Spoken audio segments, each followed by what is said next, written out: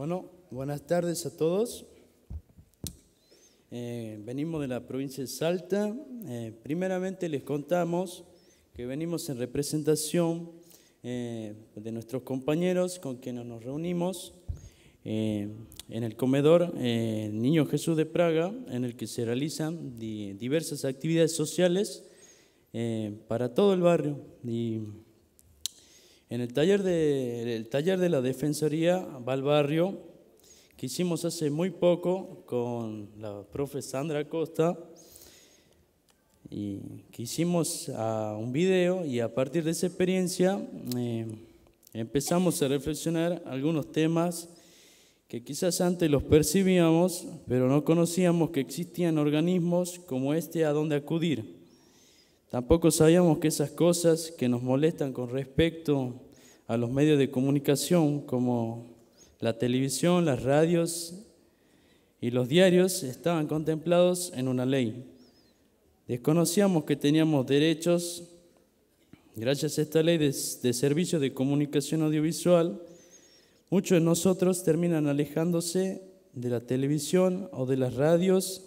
porque no te sientes identificado con lo que se ve o se escucha. Pero ¿cómo íbamos a saber que podíamos reclamar algo si desconocíamos nuestros derechos? Ahora que ya sabemos que esas cosas nos molestan porque atentan con nuestra dignidad, queremos contarles que vivimos en un barrio en la periferia de, de la ciudad. En nuestro barrio no se ven casas lujosas ni autos de alta gama, eh, es un barrio humilde y de familias de trabajadores, pero también hay gente que anda en, cosas raras. Sabemos que hay chicos y chicas eh, que se drogan y gente que también vende droga.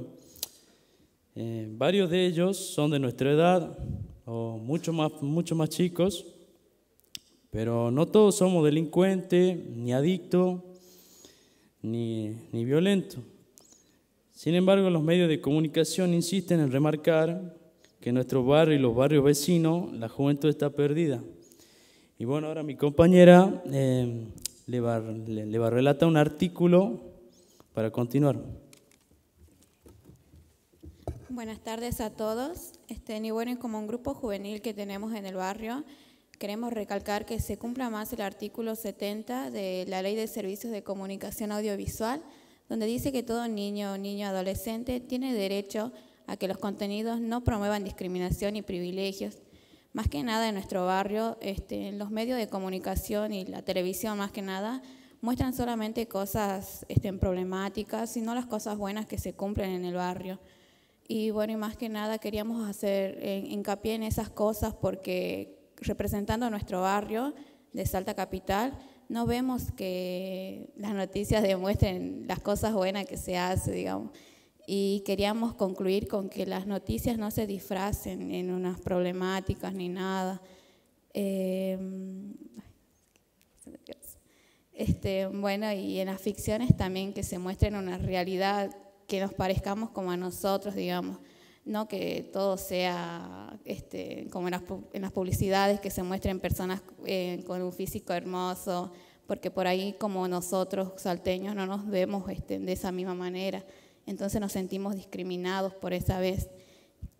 Y bueno, y nada más, digamos, queremos dar gracias este, a la Defensoría del Público que hizo posible que nosotros dos viajemos con nuestra profesora Sandra Costa.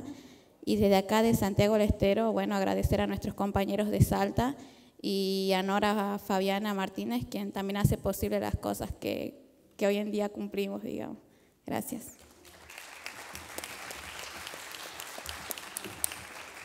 Bueno, yo nada más saludar a todos porque los chicos ya dijeron lo que eh, veníamos charlando en los talleres que se dieron de la Defensoría del Barrio que permitieron estas reflexiones de los chicos y como ellos dicen muchas veces este, es difícil defender derechos que uno desconoce que, los tiene y, llevar estos talleres a los barrios fue muy productivo, charlar con los chicos, que reflexionaran sobre estas cosas y también de otras cosas que por ahí eran más amplios que los contenidos que teníamos en esos, en esos talleres que tienen que ver con, con los chicos con los niños, digamos, porque el comedor este donde, donde trabajan los chicos en actividades sociales y comunitarias también implican la participación de niños que por ahí no están acá reflejados, pero que, que son, digamos, la población más vulnerable frente a los medios de comunicación, que son tomados eh, sobre todo en las partes publicitarias, que también son parte de los medios de comunicación, no solamente los programas, este, como consumidores, no como público, hay una fuerte vulnerabilidad de los niños frente eh, a los medios de comunicación en la parte de la publicidad,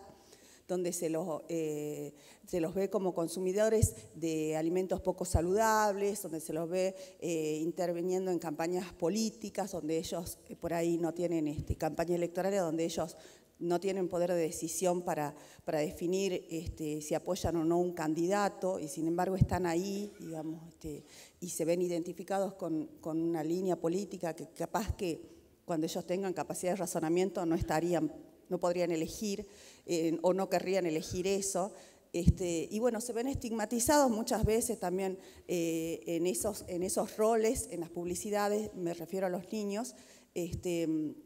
como los chicos que, por ejemplo, en las propagandas de, del aseo del hogar, los chicos, los niños son los, los que vienen, los que traen las infecciones. en, propagandas, en las publicidades de, de, cualquier tipo de infección, siempre son los niños los que son los apestosos, pobres chicos, ¿no? Pero siempre son los que tienen piojos, siempre son los que están con las manos sucias, siempre son los niños, siempre los niños son los que están utilizados en esas, en esas publicidades como los agentes transmisores de todos los patógenos que entran a las, a las casas. Y también son las víctimas de las, de las publicidades este, que los,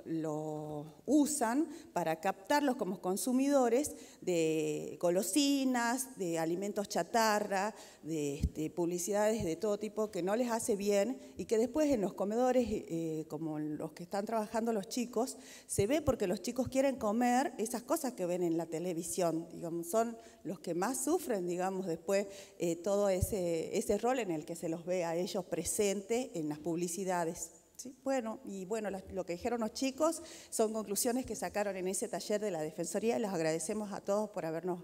este, ayudado a venir. Muchas gracias. ¿no?